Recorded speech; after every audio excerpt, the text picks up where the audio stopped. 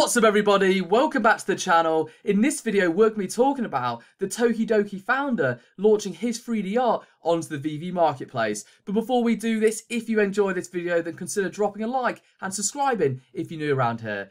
So yesterday I created a video saying that Season 1 collectibles had actually come to an end. Now, this was based on an Instagram post put out by VeVe, so um, but I actually believe this piece here will actually be the final collectible launched into the VeVe Season 1. Now, I'm actually personally really excited about this because we're actually seeing VeVe diversify uh, into a different marketplace altogether in this particular launch, allowing artists to highlight their particular collectibles into this range and seeing Simon Legno come out as the first artist um, to actually put their name against a 3D art piece in the VeVe collectible range is a very interesting point to make here because we're going to see this moving forward. VeVe looking to break out into different market sectors uh, and, and break out into different areas of, what, of NFT collectibles.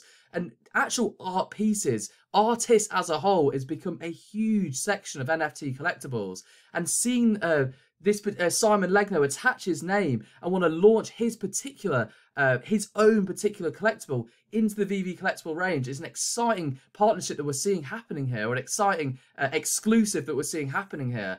Now, Another thing I want to touch upon here is the fact that he's launching it because of VeVe's uh, stance on being carbon neutral. Very important point to make here. You know, when we look at what VeVe are doing in terms of uh, setting the bar and becoming this go-to platform for VeVe collect uh, for NFT collectibles, sorry, um, being carbon neutral is just a great PR. It's a great representation of what the brands stand for.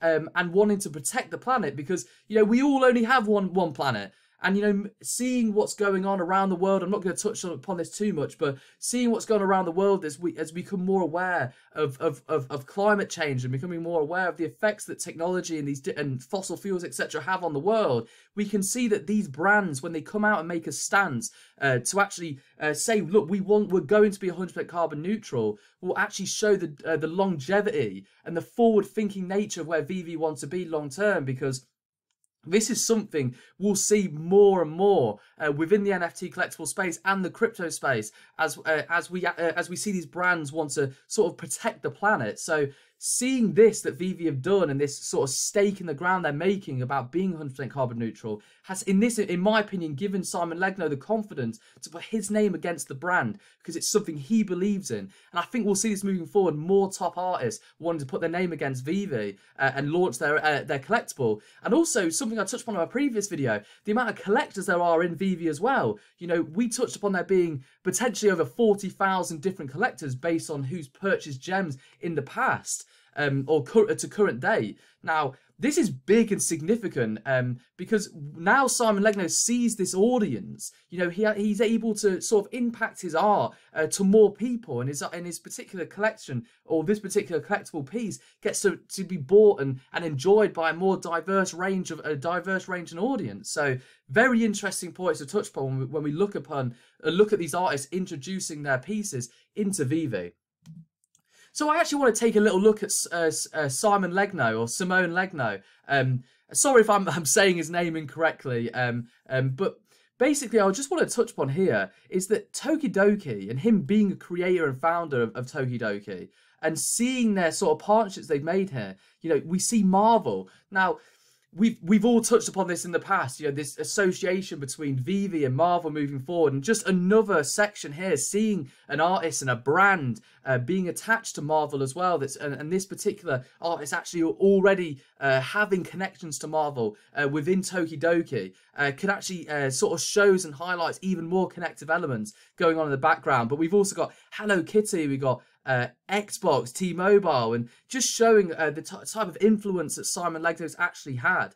Um, and how significant this partnership's actually been because we can see if we go over to the different brands that he owns or the different sub brands in Tokidoki, we've already seen Unicorno, we've already seen Mermicorn, and this is important to take note. The success of these launches within the VeVe marketplace has uh, probably also given the artist Simon Legno the confidence to launch his range into the VeVe collectibles. Now, the reason I say this is because we're going to see this moving forward. When brands are, have successful launches when they when they essentially get sold out which is what happened within this range uh, you're going to see more brands want to be involved with it with this as as this concept within nfts gets justified. And this was something i touched upon in my previous video. You know seeing this nft collectible range evolve and mature uh, we'll see more brands want to move over and get launched into this space. And seeing that uh, the owner of tokidoki already has had successful brands and successful launches launches within the VeVe uh, marketplace, it's given him the confidence, in my opinion, to want to put his name, his actual name, against the VeVe collectible range.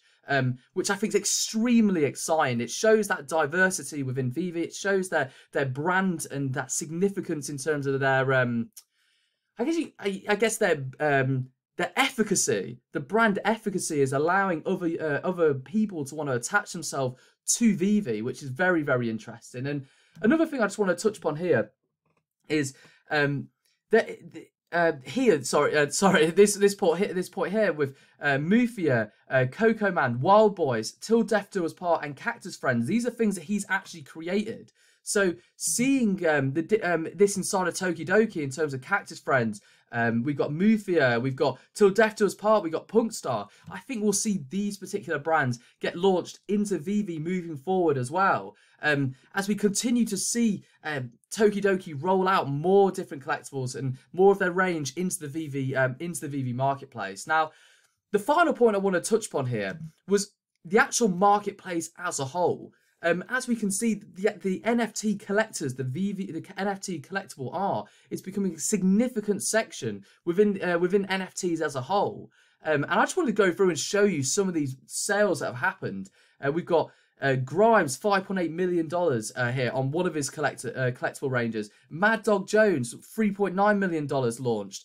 And uh, the reason I want to touch upon this is when we see an artist, one artist attach themselves to this brand, to attach themselves to VeVe, we'll see other reputable artists come over. So who knows what will happen in the future? We may see collabs from these top, top, top artists want to put themselves into the VeVe and attach themselves not just to the VeVe brand, but also to the to the uh, to the audience within VeVe, the marketplace as a whole, the demand that VeVe's marketplace are driving now. And We'll just continue to scroll through here as we can see. This was an interesting one. We've got uh, our first ever sort of um, like house. This is like a 3D art house that's been launched. Very interesting as we continue to see uh, NFT art mature and NFT art evolve. And I'm just going to continue to scroll through here as we can see many different diversities and, and obviously the number one being Beeple with their $69 million sale happening earlier on this year. So I hope this video has been useful to you.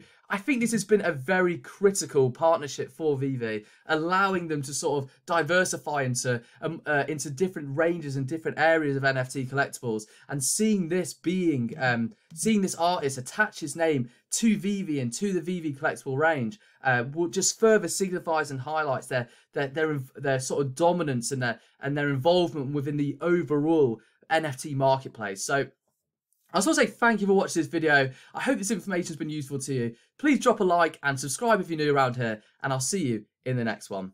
Bye.